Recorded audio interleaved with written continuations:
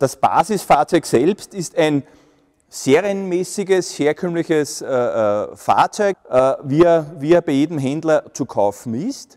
In unserem Fall mit einem 240 PS äh, starken Motor mit Turbo, Doppelturbo, damit man die entsprechende Motorleistung hat, mit Allradsystem, Automatik, allen Assistenzsystemen.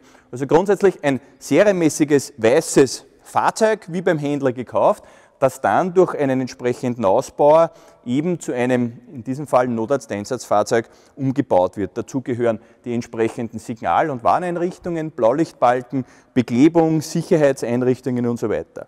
Das Wesentliche aber, oder das Herz dieser notfallmedizinischen Ausstattung, befindet sich natürlich im Inneren des Fahrzeugs. Und wir sehen hier, dass die gesamte Gerätschaft, die das Notfallteam, Notarzt und Notfallsanitäter um entsprechende äh, dem letzten Stand der Technik durchführen zu können, äh, die Gerätschaft hier im, im Kofferraum, im Stauraum des Fahrzeugs untergebracht ist.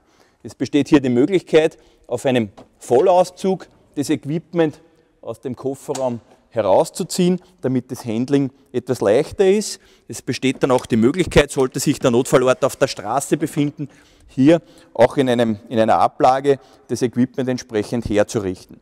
Nun, was gehört jetzt alles zu so einer Standardausstattung. Wir brauchen einen entsprechenden Überwachungsmonitor. Dieser Überwachungsmonitor ist eben nicht nur Monitor, sondern auch zugleich ein entsprechender Defibrillator, ist Herzschrittmacher und man kann mit diesem Gerät alle wichtigen äh, Vitalparameter des Patienten messen und überwachen. Dann ganz wichtig, zur, wenn es darum geht, im Falle eines Falles einen Patienten zu beatmen, künstlich zu beatmen, steht uns ein entsprechendes mobiles, tragbares, sehr modernes Beatmungsgerät zur Verfügung. Hier hat der Notarzt die Möglichkeit, einen Patienten nach entsprechender Intubation, das ist das Einführen eines Schlauchs in die Luftröhre, einen Patienten zu narkotisieren und dann entsprechend in verschiedenen Beatmungsformen künstlich zu beatmen, wie es eben auch heute auf einer Intensivstation passiert. Das Gerät ist tragbar und kann somit zum Notfallort entsprechend transportiert werden. Ganz wesentlich natürlich ist die Ausrüstung tragbar und mobil, hier in Rucksacksystemen für das medizinische, wir sagen, Kleinmaterial. Wir haben das hier in drei verschiedenen Rucksacksystemen verstaut, wobei hier der größte Rucksack der klassische Notarztrucksack ist. Wir haben hier Material eben zu der, zur Intubation, diese Luftschläuche, wie schon vorher erwähnt, Sauerstoffmasken, alternative Atemwege, ein wenig Verbandmaterial. Äh, hier die Möglichkeiten zur Diagnostik und Therapie, Infusionen, Thermometer, Blutdruckapparate und so weiter.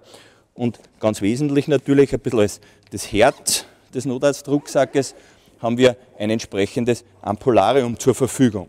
Dieses Ampularium bietet Platz für alle notfallmedizinischen Medikamente, die der Notarzt zur Versorgung eines Patienten vor Ort brauchen kann. Wie gesagt, die Ausrüstung ist so ausgelegt, dass alle Arten von Notfall, vom internistischen bis zum gynäkologischen, bis zum Kindernotfall, bis zum Verkehrsunfall, Polytrauma, Schädel-Hirntrauma, Schlaganfall, eben alles abgedeckt werden kann, sehr kompakt und sehr mobil.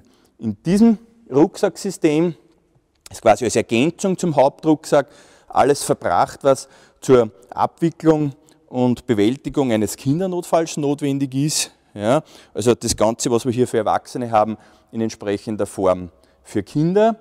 In diesem Rucksack hier, wir sagen dazu Sonderzubehörrucksack, ist all das Material verbracht, was äh, zur, zur Abarbeitung eines entsprechenden Notfalls ist, wo ein zum Beispiel chirurgischer Eingriff notwendig ist bei schweren Thoraxverletzungen und dergleichen. Also in diesen drei Systemen, Rucksacksystemen, befindet sich das gesamte medizinische Equipment, das natürlich auch dann im Bedarfsfall in den Rettungswagen mitgenommen werden kann, mit dem der Patient transportiert wird.